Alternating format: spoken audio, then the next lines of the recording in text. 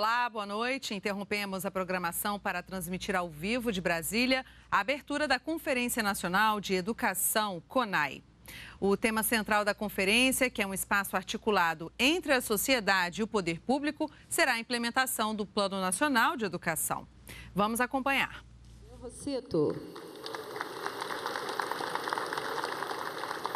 A ministra-chefe do Desenvolvimento Social e Combate à Fome, Tereza Campelo. E o ministro de Estado de Educação, Henrique Paim.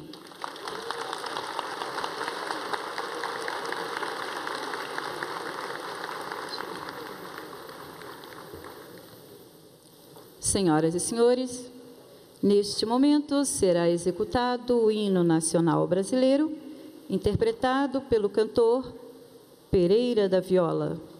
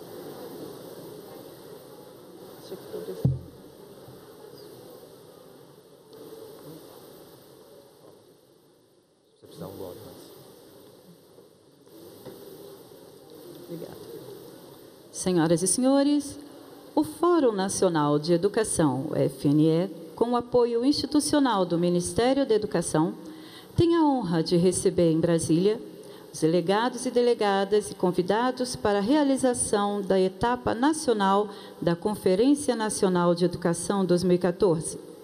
A etapa nacional da CONAI foi precedida por etapas preparatórias com 2.824 conferências de educação municipais e ou intermunicipais, com a participação de 776 mil delegados e 26 conferências estaduais e uma distrital, com a participação de 2.175 delegados. Nas conferências livres e participações na rede social da CONAI 2014, participaram aproximadamente 3 milhões de pessoas. O objetivo foi garantir a participação da corresponsabilidade das atribuições concorrentes, complementares e colaborativas entre os entes federados e os sistemas de ensino. Para abrir esta solenidade, convidamos o coordenador do Fórum Nacional de Educação e da CONAI 2014, Francisco das Chagas Fernandes.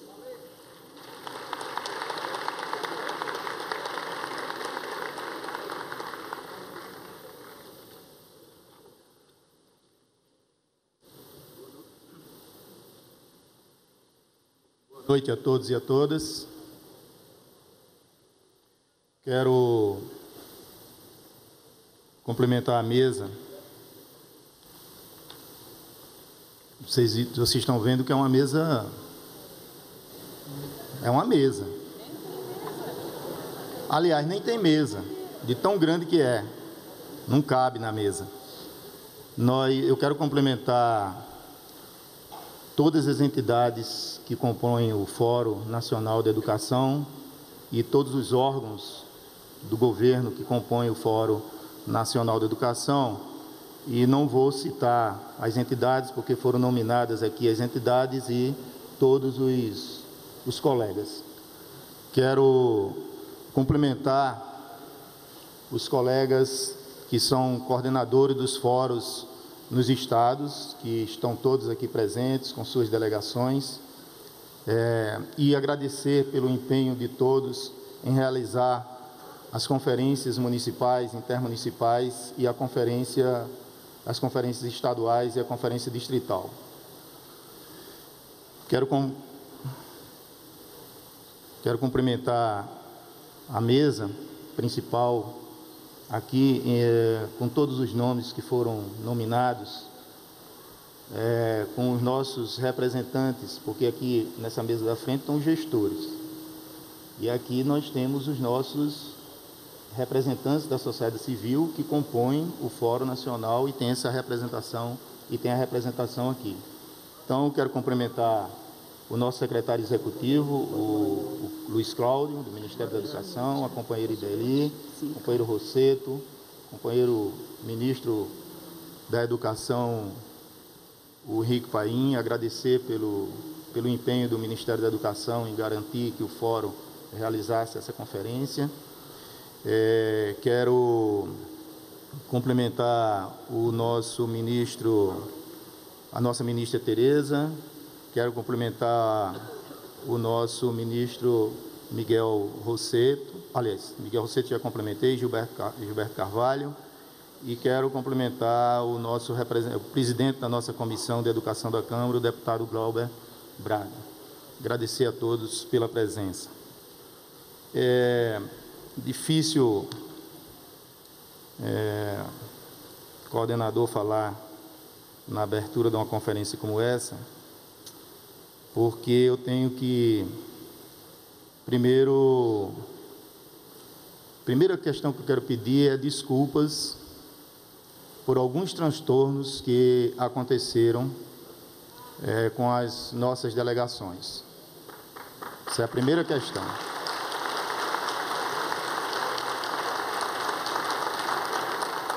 Nós do Fórum reconhecemos isso e nos empenhamos para resolver todos os problemas.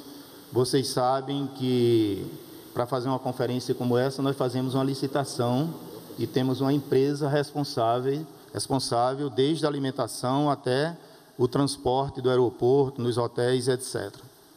Então, nossas desculpas pelos transtornos, estamos procurando resolver da melhor maneira possível. É, segundo lugar, agradecer à Petrobras, à Unesco e o Banco do Brasil, que são responsáveis por nós termos a parte cultural dessa conferência, ok?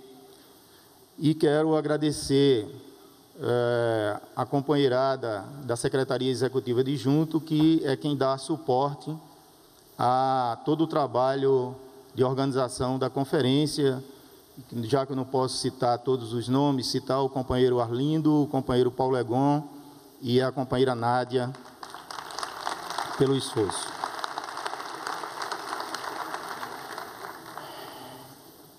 É, quero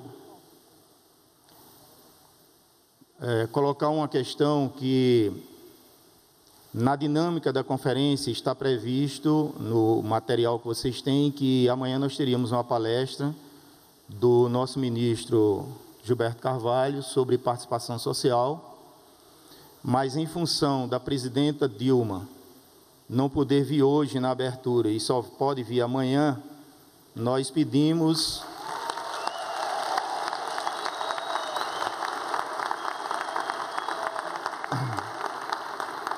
Nós pedimos e o ministro Gilberto atendeu e mudou uma agenda que ele tinha hoje, que nós sabíamos, porque ele estava em São Paulo, para que ele, que ele viesse hoje à noite aqui. O ministro Henrique Paim se empenhou nessa questão, para poder a gente receber a presidenta Dilma amanhã aqui na nossa conferência. Ok? É...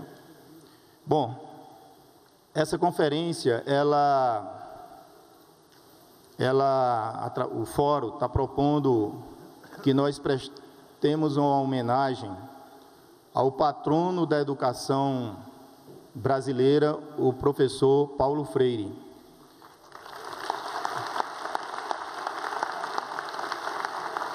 Não só, não só porque o ano passado a presidenta Dilma sancionou a lei tornando o patrono da educação, mas porque o ano passado, em 2013, completaram-se 50 anos da primeira experiência de Paulo Freire em Angicos, onde em 40 horas ele alfabetizou 300 jovens e adultos. Portanto, para homenagear o professor Paulo Freire, nós fazemos um pequeno vídeo de dois minutos para, para nós aqui, ok?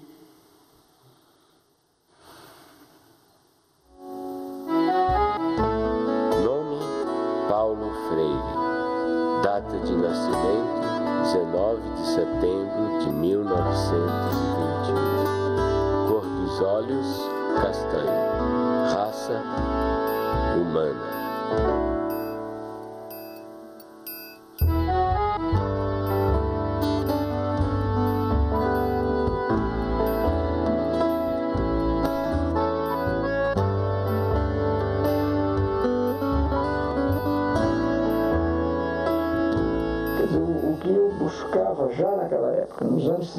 50, era uma crítica à, à educação brasileira. Em Angicos, uma pequena cidade no sertão do Rio Grande do Norte, começaram uma revolução.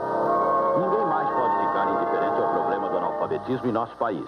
Não se pode recusar 40 horas a um homem que tem sede de saber, ou fome da cabeça, como dizem em Angicos. E precisa... Se lembra quando nós chegamos à cidade? A Neide era muito pequenininha, tinha seis anos, nem se lembra ainda, né? Mas lembra me lembro alguma coisa. É. Eu lembro porque ia chegar essa escola e, e as pessoas não acreditavam muito. Eu vi minha mãe dizendo assim para meu pai que queria estudar. Ele disse, ah, isso não chega para gente, não. A velocidade com que isso ocorre, na primeira aula de alfabetização, a folha do caderno é insuficiente para escrever três sílabas. e o lápis fura a folha do caderno. Nós estávamos em pleno trabalho de alfabetização em 64, quando houve o golpe. E quem estivesse naquela, naquela escola estudando, quando viesse, aí pegava aquele povo todinho e levava, prendia. Paulo Freire colocou o oprimido na história. Ele, é, ele estava fazendo um ato revolucionário. Mas há pessoas que me consideram um idealista, mas um idealista perigoso, entende? Para mim, não. Para mim, a esperança faz parte disso que a gente vem chamando natureza humana. Eu gostaria de ser lembrado como um sujeito que amou profundamente o mundo e as pessoas, os bichos, as árvores, as águas, a vida.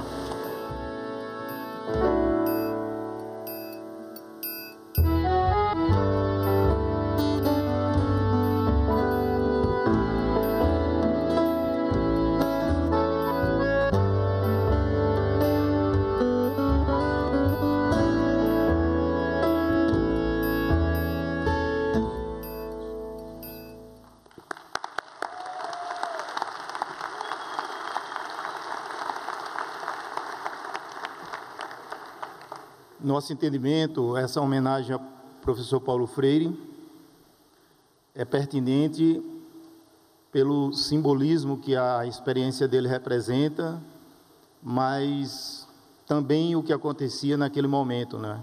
Tinha um plano nacional previsto e o Paulo Freire era responsável pela área de alfabetizar todos os jovens e adultos no Brasil através da campanha que estava estabelecida. Mas em vez de acontecer isso, ele foi exilado.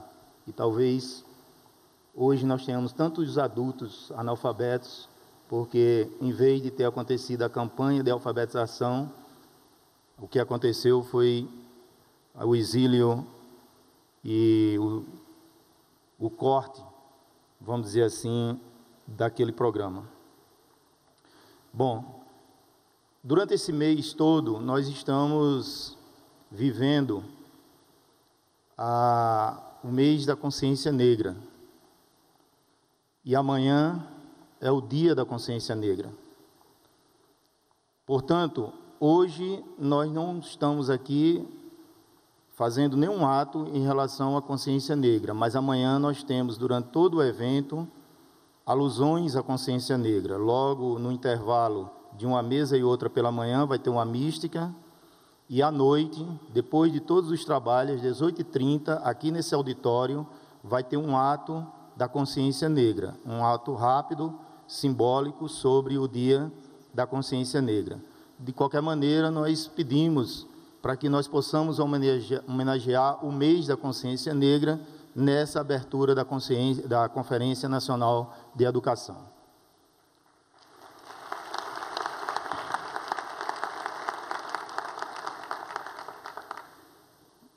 Bom, eu, é, nós começamos esse movimento da Conferência Nacional da Educação, não, come, não iniciamos com nenhum ineditismo, porque se tem um setor social no Brasil que é mobilizado, chama-se o setor da educação. E quando nós dizemos mobilizado, não é mobilizado só porque nós fazemos as greves as passeatas, as reivindicações. É mobilizado porque nós discutimos conteúdo. Nós fazemos encontros, conferências, seminários, debates nas universidades, nos sindicatos, nas associações. E sempre fizemos isso. Fizemos muitas conferências no país, muitos é, é, congressos. Mas qual é o ineditismo que começamos com a conferência de 2008 da educação básica? É colocar no mesmo espaço, organicamente, os, a sociedade civil e o poder público, através dos órgãos representativos de governo. Então, pela primeira vez, com aquela conferência de educação básica, nós iniciamos um processo de organização de um, de um mecanismo, de, de um mecanismo para de participação da sociedade brasileira em relação à educação. E aquela conferência de 2008, eu gosto muito de lembrar. Por quê? Porque ela tirou ela aprovou propostas importantíssimas para a educação brasileira. Primeiro, ela definiu que a próxima conferência não fosse da educação básica, não fosse de um nível, não fosse de uma etapa, não fosse de uma modalidade, fosse uma conferência nacional de educação. E colocou um prazo de dois anos para que nós realizássemos. Além dessa deliberação importante que a Conferência de Educação Básica pautou, também ela pautou cinco pontos importantíssimos, muitos outros pontos, mas cinco pontos eu gosto sempre de lembrar, que é o que nós temos hoje na Constituição brasileira através da emenda 59. Nós aprovamos naquela conferência acabar com a DRU, desvinculação de receitas da União, que retirava no mínimo 20% dos 18% que a União é obrigada a investir em educação. Isso a gente, a gente aprovou naquela conferência. Nós aprovamos naquela conferência que a educação básica deveria ser obrigatória e universalizante dos 4 aos 17 anos. Está na emenda 59. Estou olhando aqui para o ex-deputado Carlos Abicalil, que nos ajudou a, a pautar, junto com vários outros deputados que estão aqui, que já faziam parte do parlamento, essa emenda, é, essa proposta da emenda 59. E mais três pontos importantes. Colocar na Constituição brasileira o Plano Nacional de Educação e o Sistema Nacional de Educação.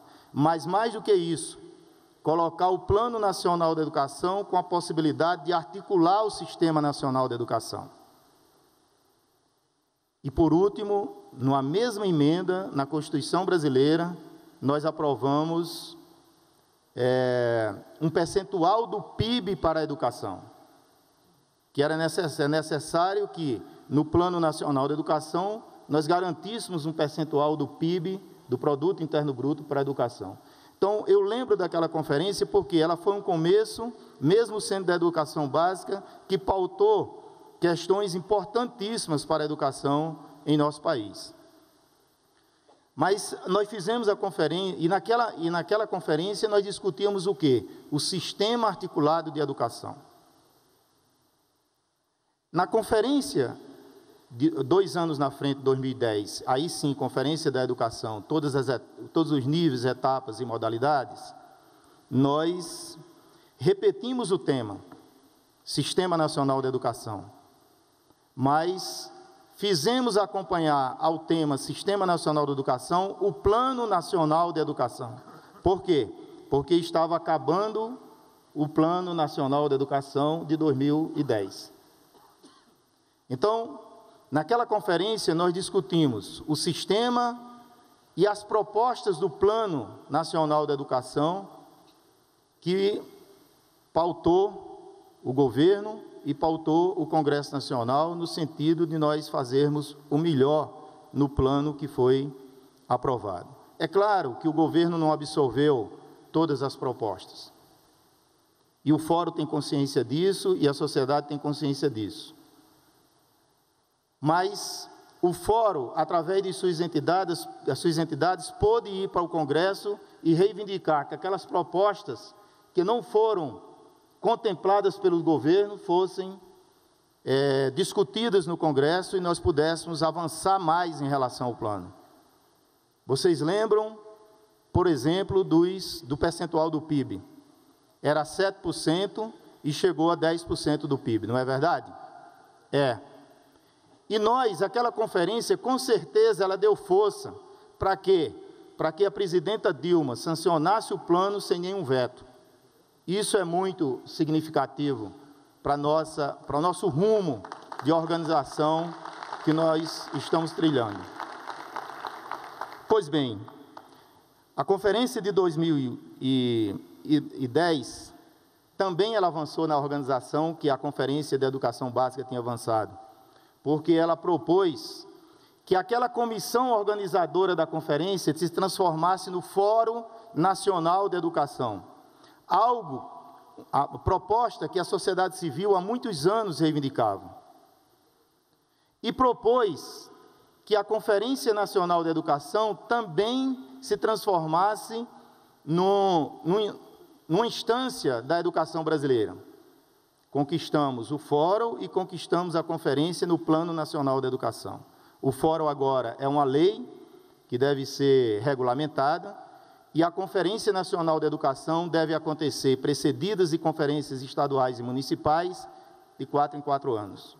Portanto, durante o, esse plano que está em vigor, nós vamos ter duas conferências é, nacionais.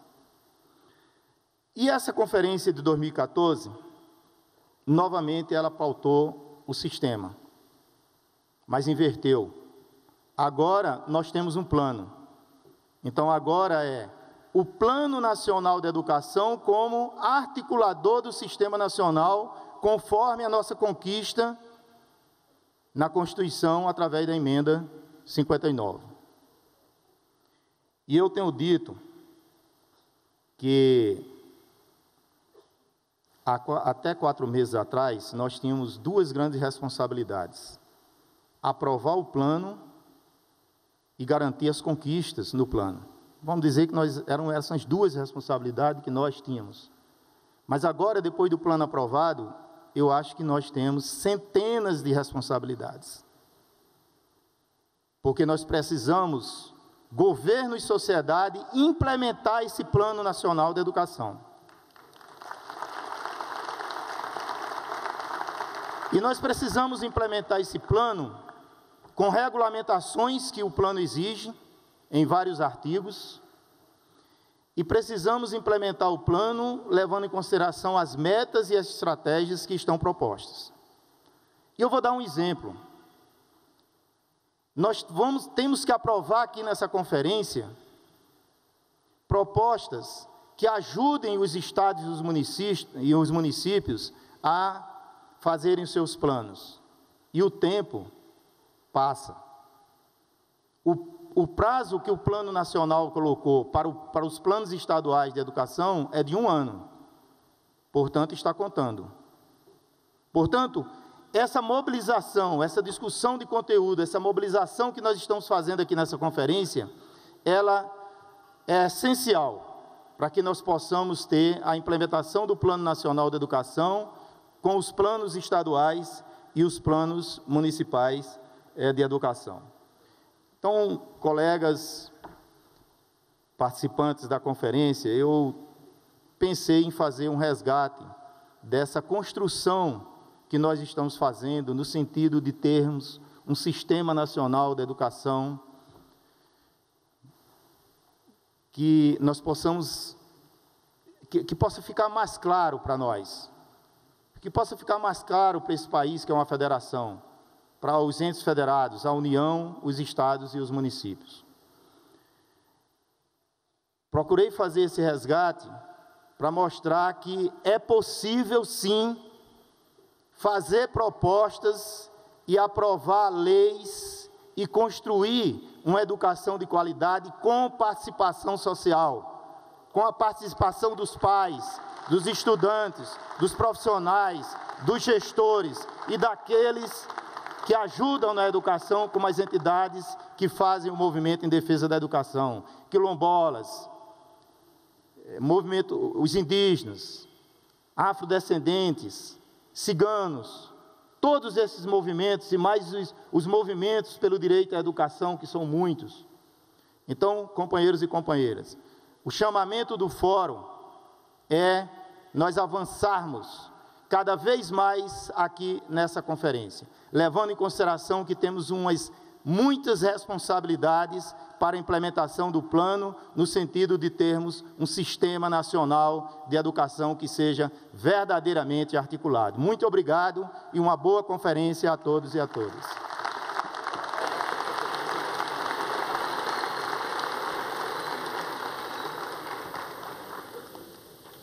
Ouviremos agora as palavras do representante da sociedade civil, Heleno Manuel Gomes de Araújo Filho.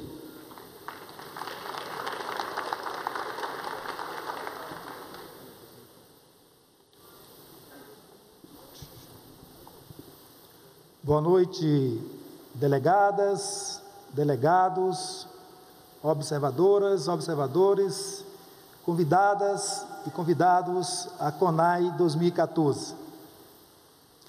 Quero cumprimentar os meus colegas do Fórum Nacional de Educação, solicitando que a, a estudante Bárbara fique de pé, por favor, a estudante Mirelle também fique de pé, e saudar as duas, representantes da União Brasileira de Estudantes Secundaristas, a União dos Estudantes Secundaristas, estudantes, razão do nosso trabalho, motivo dessa conferência.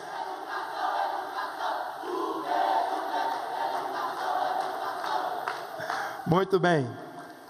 Estudantes com muita energia, com muita garra. Saudar os coordenadores, as coordenadoras dos fóruns estaduais de educação, que ajudam o Fórum Nacional de Educação a implementar as nossas ações, a realizar essa conferência em cada município desse nosso país, nos estados e aqui no Distrito Federal. Quero cumprimentar as mulheres dessa conferência que fazem a luta no dia a dia, saudando a professora ministra Ideli Salvati. Cumprimentar os homens, trabalhadores que lutam pela educação em nosso país, cumprimentando o ministro Henrique Paim. E ao cumprimentá-los, né, estendo cumprimento a toda a composição feita aqui nesse momento. Eu represento os trabalhadores e as trabalhadoras em educação no Fórum Nacional de Educação. Representando a CNTE, que trabalha com os trabalhadores da educação básica pública nesse país. E os companheiros do Fórum indicaram para fazer essa representação em nome das 45 entidades que compõem o Fórum Nacional. Por isso a responsabilidade é grande e preferi fazer por escrito para ser objetivo e não ficar aqui né, sem condições de concluir as falas.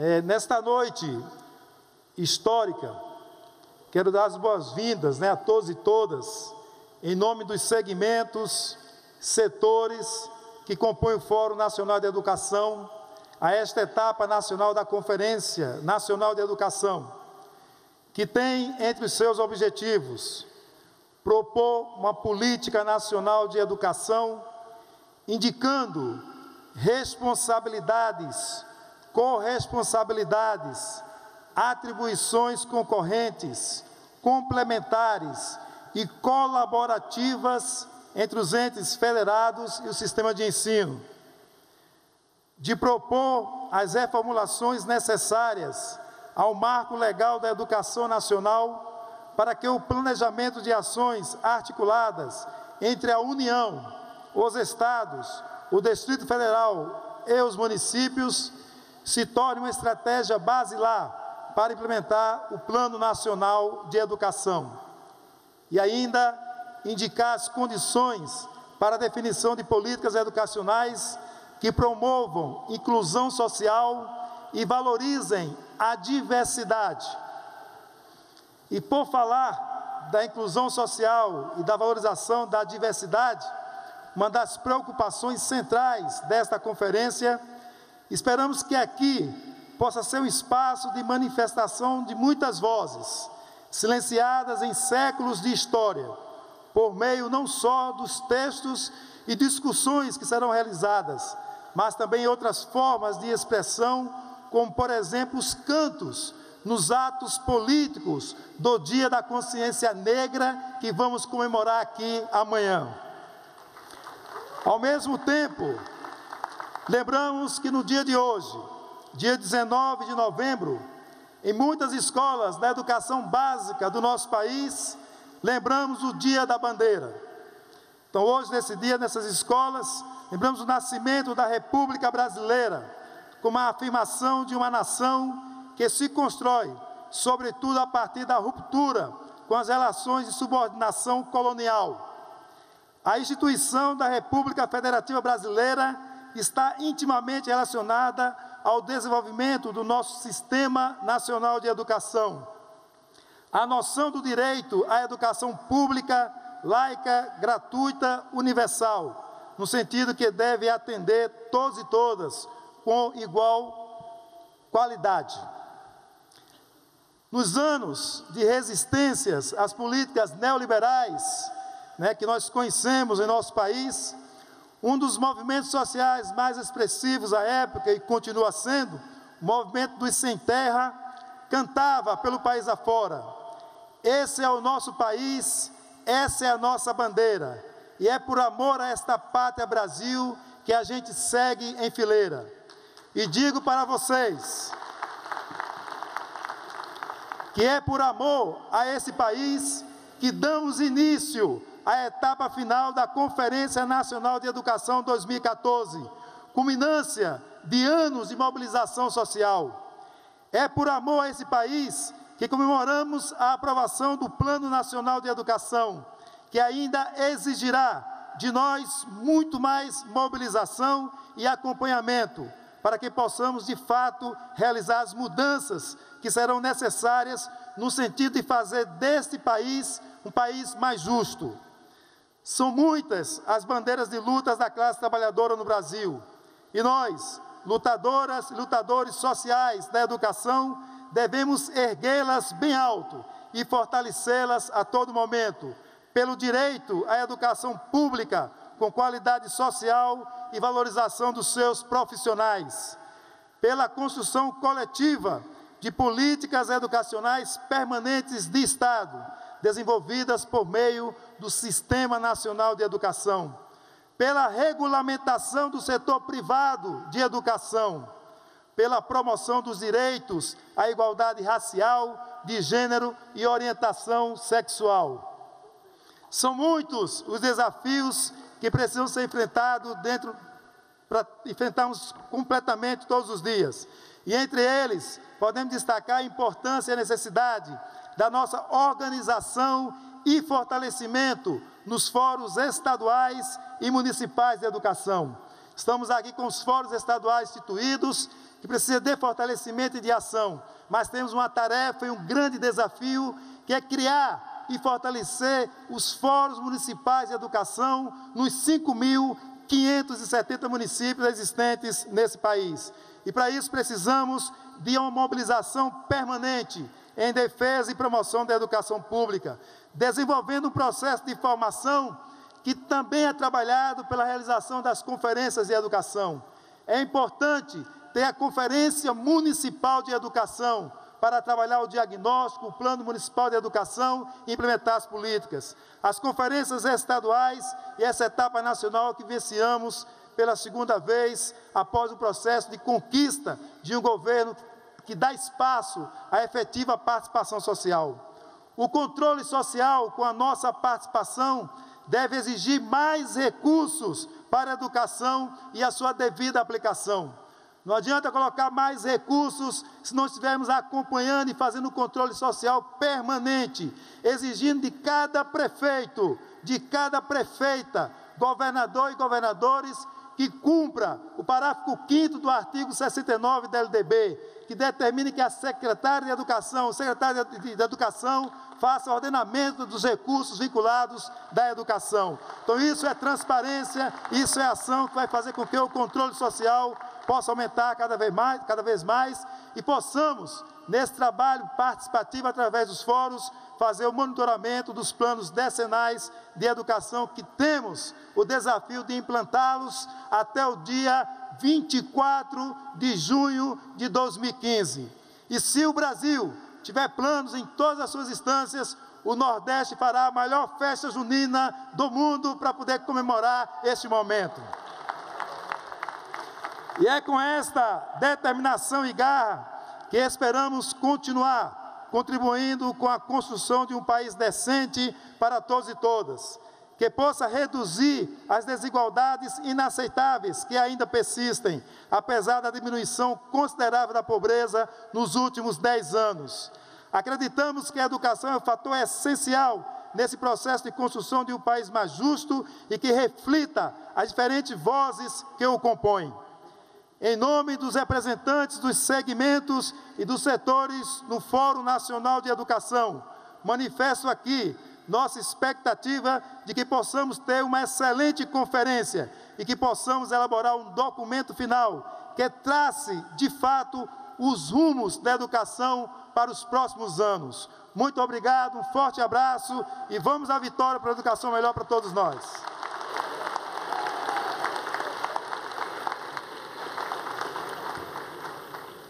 Ouviremos agora o ministro-chefe da Secretaria-Geral da Presidência da República, Gilberto Carvalho.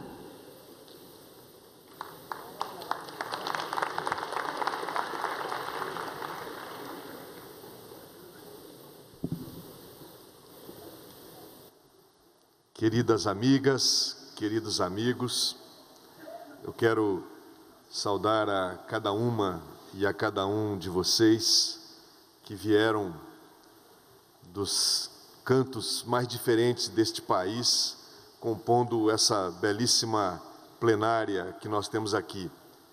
Quero, em nome do meu querido colega, o ministro Paim, além de cumprimentá-lo por esta coordenação geral desta conferência, assim como Chagas, em nome deles, cumprimentar todos essa grande mesa aqui presente.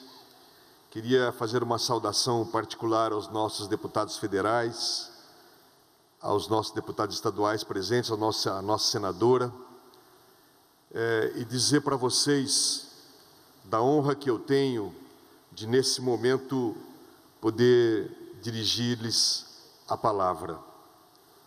A honra decorre do profundo respeito que eu tenho por cada uma, por cada um de vocês, construtores deste grande processo da educação no país e deste importante processo desta conferência. O Chagas falou de 3 milhões de pessoas que participaram do processo desde as conferências municipais, estaduais, esta conferência, mais as conferências livres, digitais e assim por diante. Isto que nós estamos vendo aqui nessa noite, isso que nós estamos vivendo neste momento, eu diria, é uma das expressões mais fortes do tema que me pediram para falar nessa noite, que é da participação social, da necessária participação popular nas esferas de governo. Eu queria muito, juro por Deus que eu queria muito, que não estivessem aqui apenas esses parlamentares que estão, porque eles todos eles são comprometidos com a gente. Eu queria muito que estivessem aqui nessa noite os parlamentares que acabam de aprovar um decreto que contraria e que derruba o decreto da presidenta Dilma sobre participação popular, para eles poderem entender para eles poderem entender o significado e a riqueza da participação social. No caso, na educação. O Chagas acabou de falar de toda a riqueza desse, desse processo. Chagas, não se preocupe com problemas de hotel, de infraestrutura, toda conferência a gente tem um pouco disso.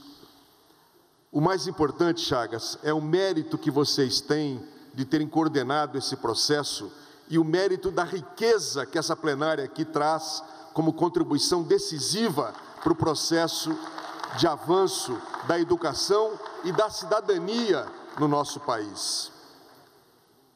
A minha homenagem a vocês também é porque vocês não são simples educadores ou pais, vocês são lutadores. E como diz muito bem um grupo em Minas Gerais, o nome do grupo, quem luta, educa. Vocês educam pela prática na escola, pelo acompanhamento dos seus filhos, mas educam também pela luta que vocês fazem, referência de um novo marco de cidadania e de combate para um projeto de uma nova sociedade. Nós sabemos muito bem que a educação não é neutra. Nós sabemos muito bem que a educação tem que estar linkada com um projeto de sociedade com um novo projeto de sociedade onde, para além da qualificação técnica, para além da pesquisa científica necessária, para além de toda a preparação profissional, junto com ela tem que estar embutido, tem que estar embutidos valores. Os valores da fraternidade, os valores da solidariedade, os valores da paz, da cultura de paz, do respeito ao outro, na sua diversidade, o valor da ecologia, da convivência adequada com o mundo, com o meio ambiente que nos cerca. Nós sabemos, aí parafraseando Paulo Freire, que a educação tem que ser de fato uma prática da liberdade, da fraternidade, do cuidado, do respeito com o outro, do crescimento do ser humano na sua plenitude. Por isso é que a educação é profundamente um ato político, um ato de construção da sociedade. E por isso é que a educação necessariamente tem que ser um ato participativo. Não, de novo repetindo Paulo Freire, na concepção bancária do depósito do, da, do saber na cabeça do aprendiz, do aluno, do educando, e sim como construção coletiva, onde o aprendiz e o mestre se interagem e produzem novas formas de conhecimento. Por isso é que essa ação, naturalmente, tem que ser, portanto, uma conquista do conjunto da sociedade.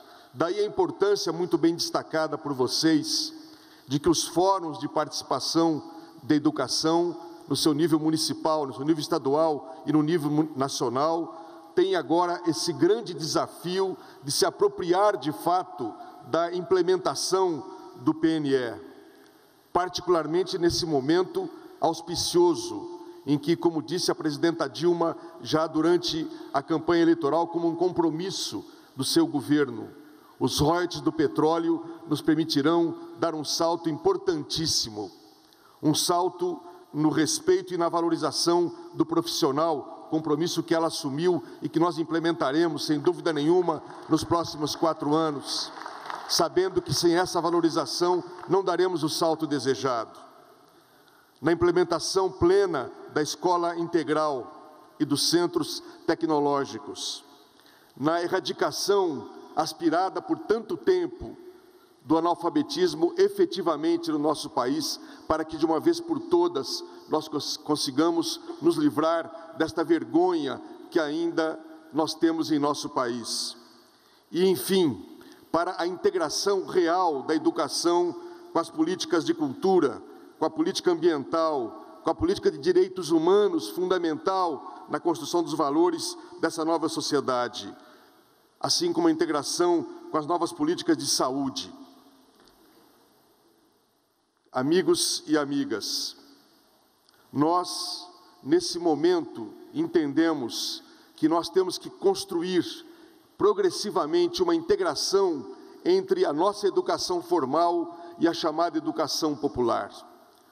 Felizmente, no Brasil, nós temos uma tradição riquíssima de um trabalho pedagógico realizado sempre na inspiração de Paulo Freire pelos movimentos sociais. Os movimentos sociais são eles também educadores muito importantes. E por isso, desenvolvendo a velha tese da prática, teoria e prática, da prática da luta pela mudança, com a reflexão que nós fazemos teorizando em cima desta prática, gerando uma nova teoria que gera uma nova prática, nesse processo evolutivo, nós temos que nos engajar. E por isso, o recém-editado marco regulatório da educação popular vem dar uma contribuição decisiva para essa nova concepção que contempla o homem e a mulher na sua totalidade. E aí entra, de fato, o papel pedagógico dos movimentos sociais, mas também dos educadores, mas também do governo. Um governo é sim um educador. E a relação entre o governo e a sociedade tem que ser, nesta mesma perspectiva, não a relação autoritária de quem deposita as políticas, de quem cria de cima para baixo, verticalmente, as iniciativas e os, os programas. Essa conduta do governo pedagógica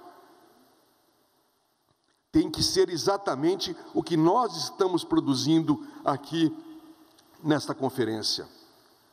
Saibam vocês que as melhores políticas sociais que nós desenvolvemos nos últimos 12 anos foram em grande parte resultado dessa relação governo e sociedade sempre tensa, sempre dialética, mas profundamente fecunda, foi graças a esse processo de participação social, através das conferências, através das mesas de negociação, através, enfim, das inúmeras formas que ao longo do tempo nós fomos criando de participação social, é que nós produzimos políticas fundamentais que não estavam no programa de governo nem de 2002, nem de 2006, nem de 2010. Foi fruto da fecundidade desse debate em que o governo pratica aquilo que o nosso querido presidente Lula chamava da escuta interessada, andando-se por esse país ou recebendo em Brasília os delegados que trazem o fruto de todo esse grande debate nacional e que aqui, nessa relação tensa, puderam produzir essas políticas.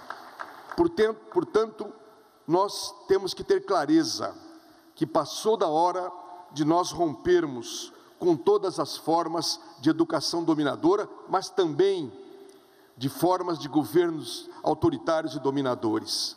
O que nós estamos realizando nesse momento é simplesmente o exercício dessa nova prática de construção de uma democracia que nasce da sua raiz e que, por isso, aumenta em nós a possibilidade de acertar e diminui a possibilidade de nós errarmos. Agora, é natural, vamos ter clareza disso, é natural que haja uma reação muito forte a toda forma de participação. É natural que setores da elite brasileira se coloquem contra essa perigosa forma de abrir os governos, de abrir os ministérios, de abrir, enfim, a forma de governar a participação social. Por quê? Porque ela traz o anseio que ninguém mais segura dos setores oprimidos, excluídos historicamente em busca de igualdade, em busca de uma nova forma de uso do aparelho de Estado. Nós precisamos ter uma clareza que não pode ser ingênua. Toda reação à participação social, toda reação ao projeto que hoje promove a igualdade no país, é porque é um protesto, é uma reação contra uma nova lógica que nós iniciamos desde 2003 de uso do aparelho de Estado, de mudança de lógica de funcionamento do aparelho de Estado, em que antes a elite dominava e as migalhas eram dadas aos pobres. E hoje a partir do momento em que nós colocamos a fome como uma questão política central, a exclusão, a seca, a ausência da universidade dos pobres como uma questão social e passamos a colocar essas questões, as políticas sociais, no centro do nosso orçamento, eles não podem suportar, porque com isso eles deixam de ganhar, com isso eles deixam de ter os recursos historicamente parados nos bancos para financiar apenas o pagamento da dívida externa e interna. Nós não podemos ser ingênuos. O debate eleitoral que nós acabamos de enfrentar focou claramente essas duas lógicas. E é por isso também que continuamos, depois das eleições, enfrentando um, uma, uma tentativa de terceiro turno. O que está em jogo, não sejamos ingênuos, não é o mandato da presidenta Dilma, não é a ameaça do impeachment, não é isso que está em jogo. O que está em jogo é a tentativa de impedir que essa lógica de colocar o Estado aberto à sociedade de maneira participativa e destinando os recursos para as maiorias não pode continuar. E é por isso E é por isso, por essa forma nova de participação e de colocação do Estado a serviço da maioria, que nós temos que seguir lutando. E é por isso que está colocada nessa conjuntura como questão fundamental a reforma política. Nós sabemos que para avançarmos mais do que o fizemos nas formas de participação social, mas, sobretudo, nas reformas estruturais, na reforma tributária e fiscal, na reforma agrária, na, na própria reforma da educação, é fundamental que nós mudemos a correlação de forças e que nós acabemos definitivamente com o financiamento empresarial de campanha. Vocês sabem que o financiamento empresarial de campanha é a forma de desequilibrar-se a representação popular no Congresso Nacional. Nós temos no atual Congresso 216 deputados que são empresários. Nós temos apenas 10% de mulheres. nós temos apenas 6% de afrodescendentes. Não se constrói democracia, não se aprofunda a democracia, não se consagra a participação social com um Congresso que não represente efetivamente a maioria do nosso povo. Por isso está colocado no centro da nossa questão a reforma política. Boa parte dos parlamentares ligados à educação que estão aqui presentes hoje não se reelegeram. E vocês sabem por quê? Porque cada vez mais o critério de eleição é a capacidade que a pessoa tem de arrecadar recursos e não tanto a sua representatividade social. Isso não pode continuar em bem da democracia. Por isso eu quero concluir, eu quero concluir concitando a todos vocês que nesta conferência façamos um manifesto claro em reforma em prol em benefício da reforma política, assinando o manifesto a iniciativa popular de lei que propõe a reforma democrática no Congresso Nacional e também pensando na importância de um plebiscito que, consultando a população brasileira, na sua maioria, ela possa se pronunciar por essa mudança. E concluo desejando que essa conferência, portanto, crie cada vez mais novas, novos projetos e tragam e traga para como contribuição não para o nosso governo, mas para o nosso país as propostas criativas que farão a educação e a nossa sociedade avançar cada vez mais na perspectiva de uma sociedade democrática, justa e igualitária. Muito obrigado.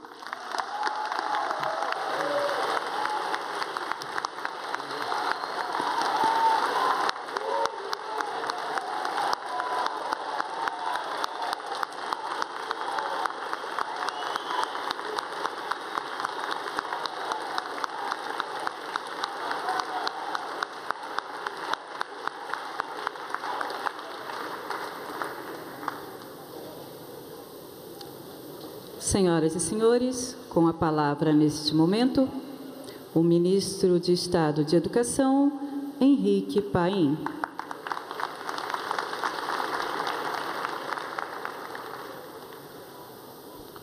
Boa noite a todos. Queria saudar aqui, em primeiro lugar, todos os delegados e participantes dessa conferência, dizer que é uma grande satisfação para o Ministério da Educação recebê-los aqui e esperamos ter uma grande conferência como nós tivemos em 2010. Queria saudar aqui minha colega, a ministra Tereza Campelo, que tem sido uma grande parceira na implementação das políticas educacionais do Ministério da Educação. Nós sabemos o quanto é importante ter uma ministra que pensa a questão do desenvolvimento social inclusive a partir da educação. Então, é uma honra recebê-lo aqui, a ministra Tereza Campelo. Queria cumprimentar também o ministro Miguel Rosseto, ministro do Desenvolvimento Agrário, que também tem um papel muito importante na integração com as políticas educacionais do Ministério da Educação.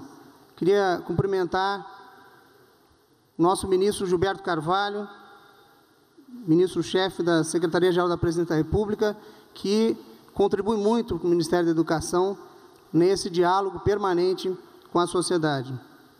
Gostaria de cumprimentar a nossa ministra Deli Salvati, que é a nossa ministra da Secretaria de Direitos Humanos da Presidência da República, mas, como todos sabem, uma educadora, uma pessoa que luta pela educação, e estava conversando com ela aqui, e ela dizendo que foi autora da emenda constitucional 59. Então merece a nossa homenagem por todo esse trabalho que fez no âmbito da educação. Queria fazer um cumprimento muito especial ao nosso é, Francisco da Chagas Fernandes, coordenador do Fórum Nacional de Educação.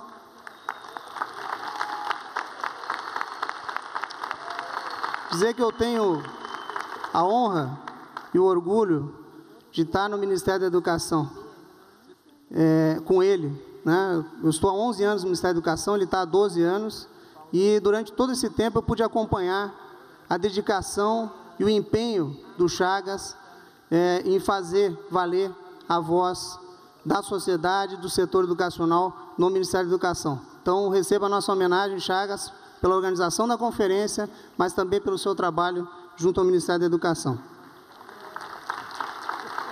Queria cumprimentar aqui também o deputado Galber Braga, presidente da Comissão de Educação da Câmara de Deputados, e agradecer fortemente o apoio dele, o apoio dessa comissão em todos os projetos educacionais que nós tivemos nos últimos anos e os avanços a partir da Comissão eh, de Educação da Câmara e a partir dele cumprimentar todos os deputados federais aqui presentes e agradecer também pelo apoio estabelecido ao longo desses anos. Cumprimentar também a nossa senadora Ana Rita, cumprimentando aqui todos os senadores, ela também que contribui muito para o nosso trabalho no âmbito do Ministério da Educação. Queria cumprimentar aqui o Luiz Cláudio Costa, que é o secretário executivo do Ministério da Educação, e, em nome dele, cumprimentar todos os secretários e dirigentes do Ministério da Educação que estão aqui presentes. Queria cumprimentar aqui também a Ângela Maria de Lima, da Secretaria de Políticas de Ações Afirmativas, representando aqui a ministra da CEPIR. Queria cumprimentar o Heleno Manuel Gomes de Araújo, que falou aqui representando a sociedade civil, que também é um grande parceiro do Ministério da Educação e trabalha fortemente com o Ministério. Queria cumprimentar a Mirelle Cardoso e a Bárbara, representando aqui todos os estudantes, dizer da importância do trabalho que eles realizam. Queria cumprimentar aqui o Raimundo Jorge, representante do Movimento Negro, justamente na Semana da Consciência Negra.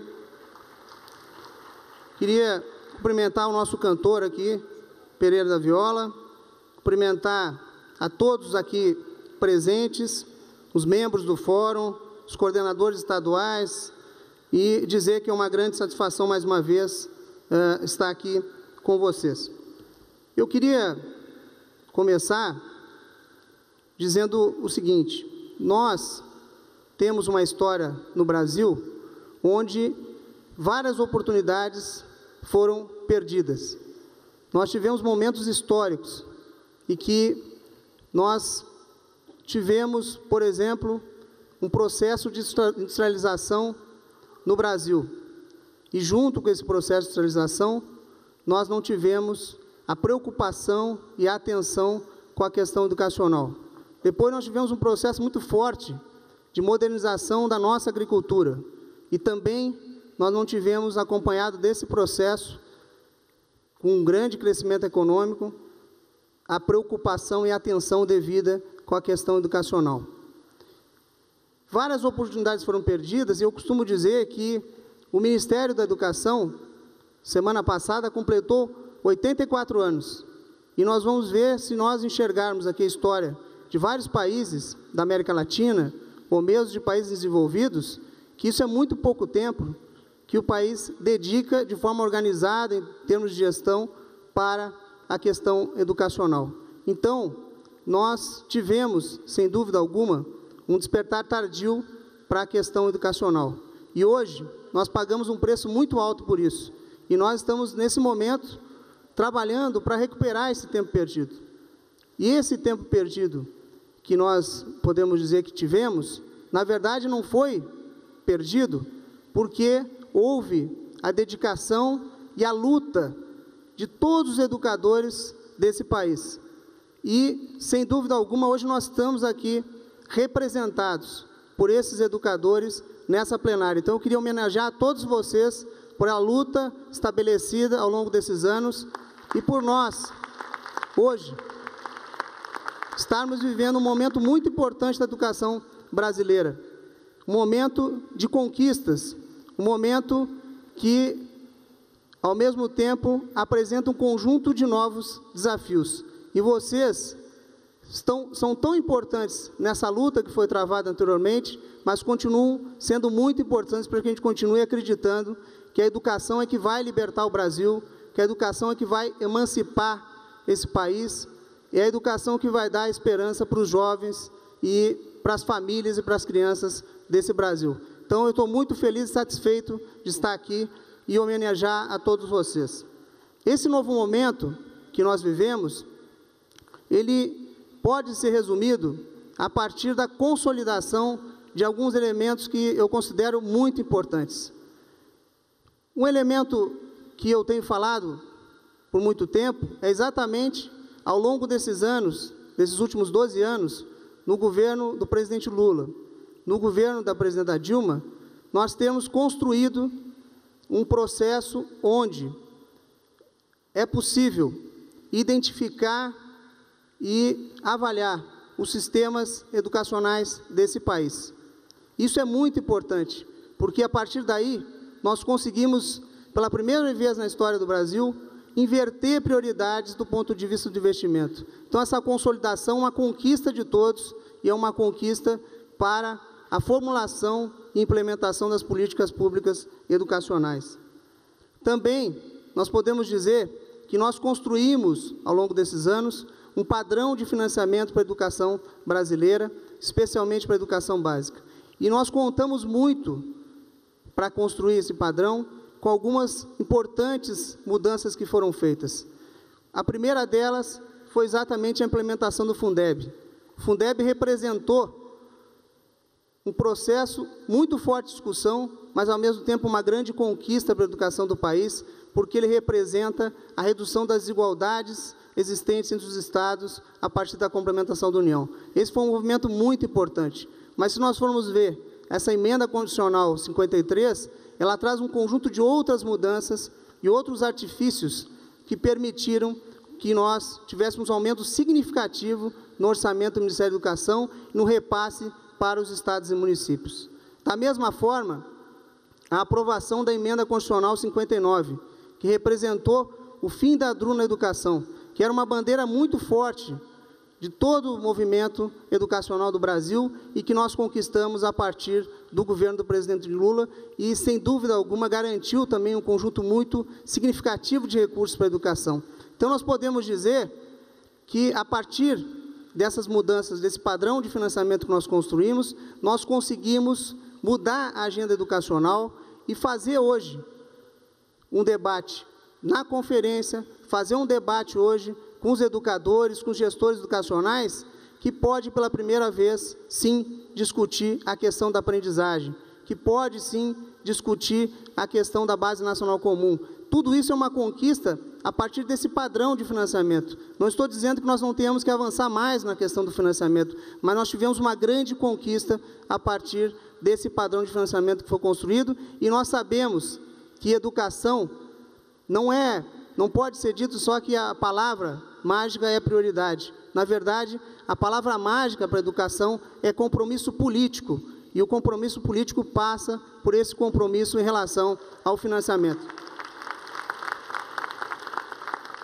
Da mesma forma, nós podemos dizer que nós criamos também um novo padrão de relacionamento com os estados e municípios. Hoje, o Ministério da Educação se relaciona com os municípios e trabalha fortemente a partir de um novo padrão e fez com, com esse novo padrão que nós é, ampliássemos e aprofundássemos aquilo que é muito importante num país como o nosso, num país continental, que é o regime de colaboração.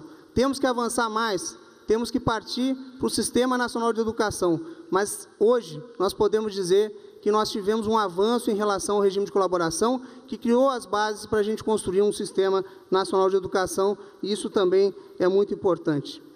E eu queria dizer que nós demos passos importantes, sim, em relação à questão da formação de professores, que é outro elemento muito importante.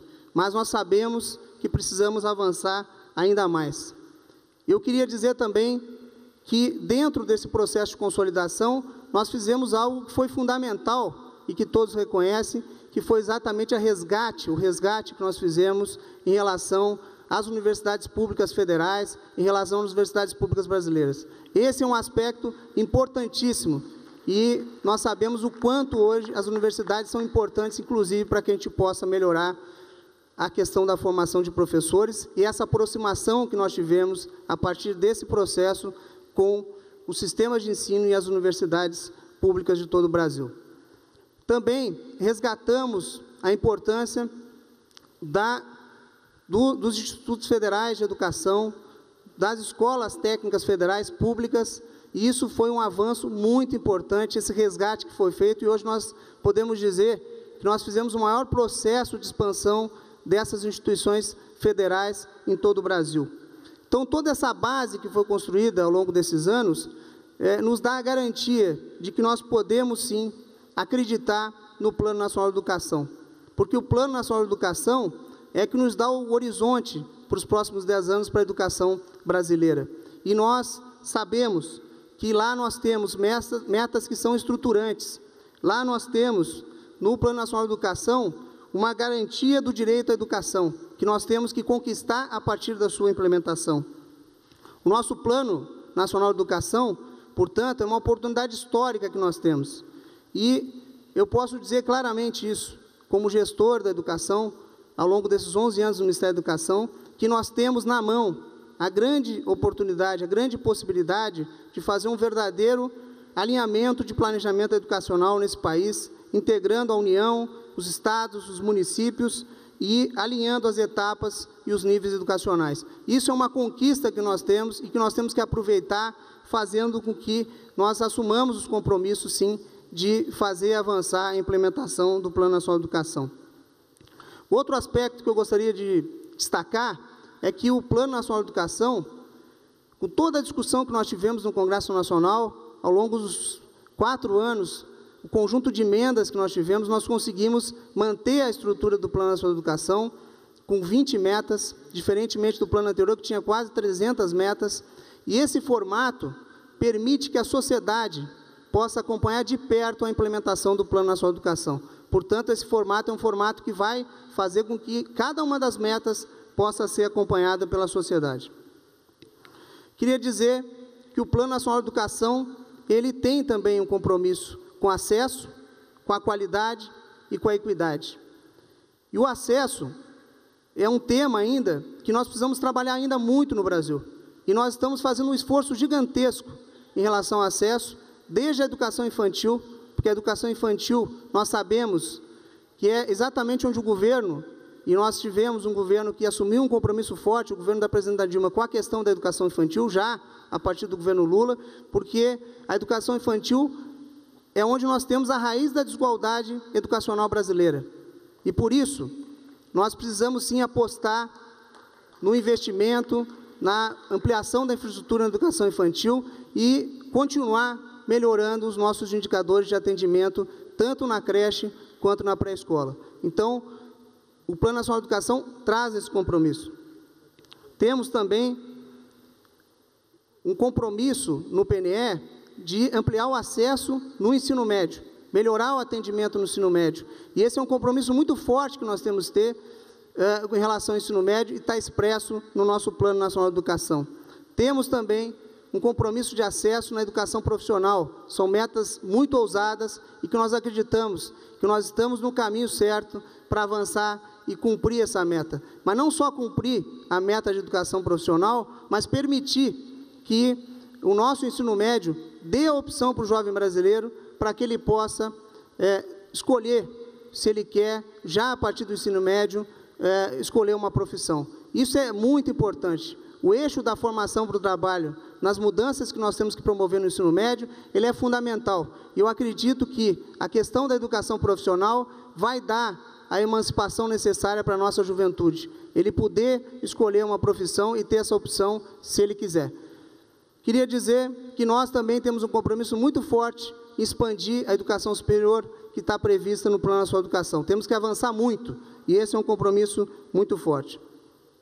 Queria dizer também que, em relação à equidade, nós precisamos avançar ainda mais em relação à redução das desigualdades educacionais. A redução da desigualdade educacional deve ser também um grande compromisso. Assim como nós temos um compromisso com o financiamento, assim como nós temos um compromisso político com a questão do professor, que está no centro do Plano Nacional de Educação, nós temos que ter, sim, um compromisso com a redução das desigualdades educacionais. E, sem dúvida alguma, é, nós precisamos reduzir as diferenças que nós temos nesse país, em relação à educação do campo, em relação à educação da cidade. Nós precisamos reduzir as desigualdades quando envolve as pessoas com deficiência. Nós precisamos ampliar a inclusão dos negros e indígenas desse país. Nós precisamos, sim, é, nos voltarmos para a questão da educação de jovens e adultos e ter uma política efetiva em relação à educação de jovens e adultos. Existe, no nosso Plano Nacional de Educação, pela primeira vez, metas que são de qualidade. E nós sabemos que a questão da aprendizagem é uma agenda forte que nós precisamos enfrentar.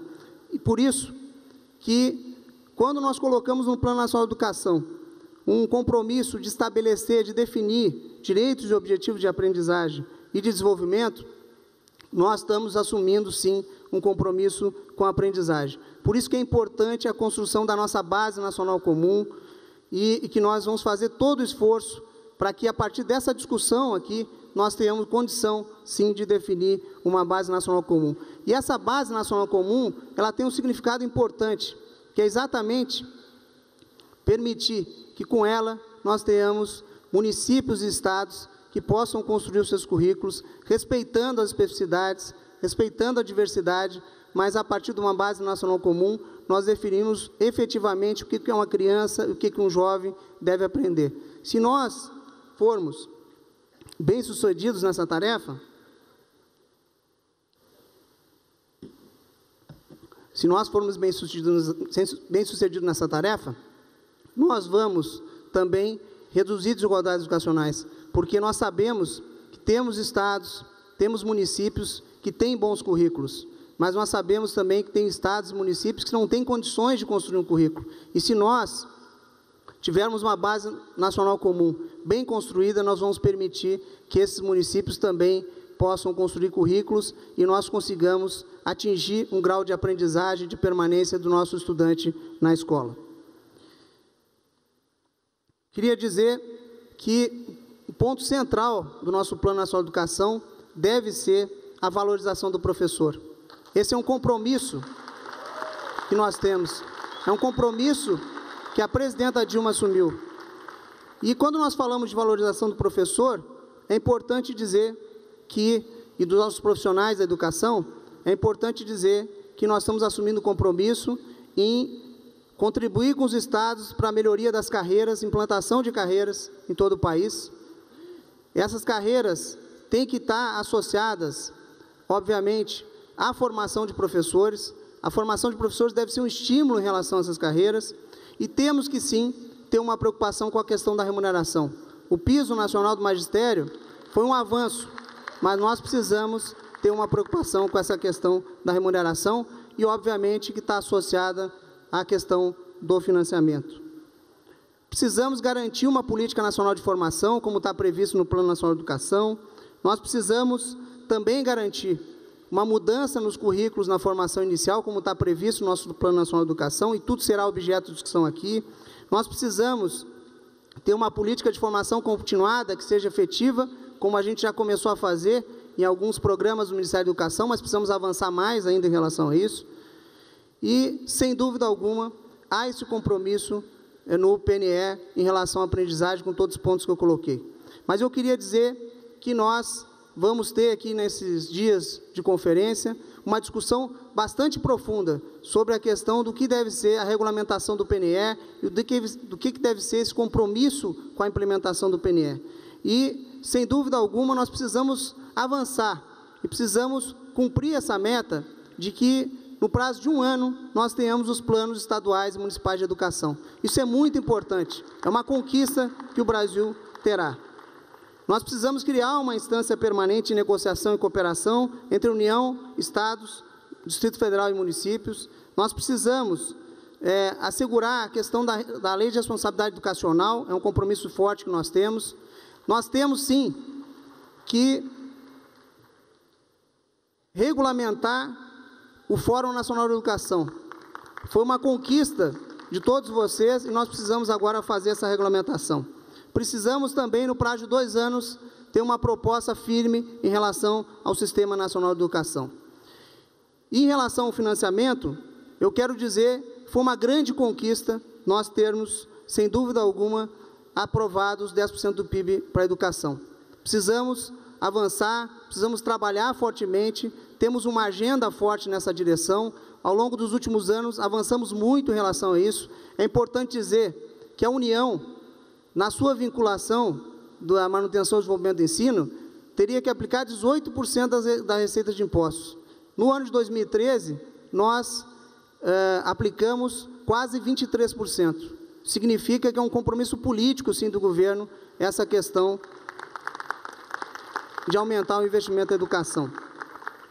E para isso, nós temos sim que discutir e avançar na regulamentação do custo aluno qualidade. Esse é um ponto importante, é um compromisso que nós temos, de forma muito responsável, fazer essa regulamentação.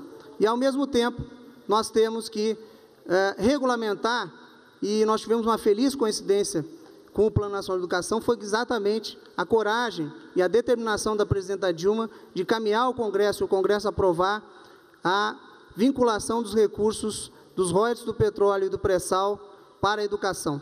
Isso foi uma grande conquista para a educação brasileira e nós precisamos fazer essa regulamentação. E a nossa presidenta já disse que o compromisso desses recursos tem que ser, sem dúvida alguma, com a valorização do professor.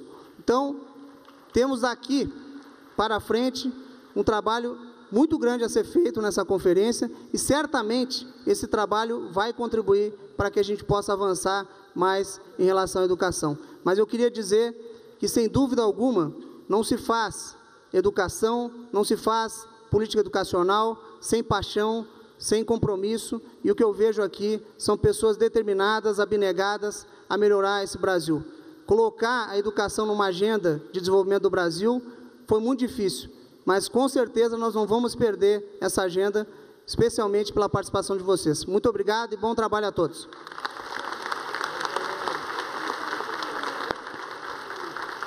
Senhoras e senhores, agradecendo a presença de todos, encerramos esta cerimônia.